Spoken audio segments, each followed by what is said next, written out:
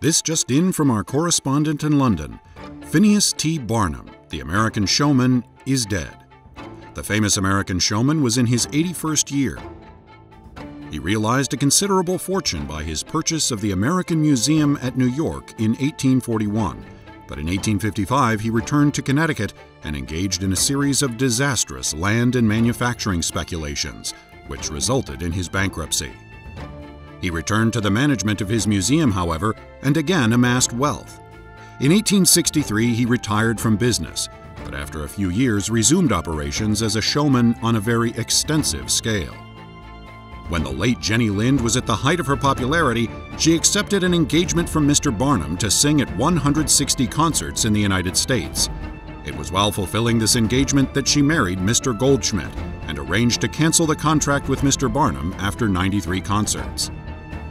Mr. Barnum was a member of the Connecticut legislature in 1865 and an unsuccessful candidate for Congress the following year.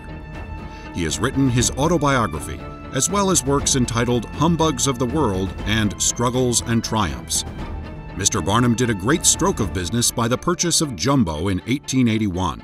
His show was burnt out in 1887, that being the third time Mr. Barnum has suffered the misfortune of conflagration.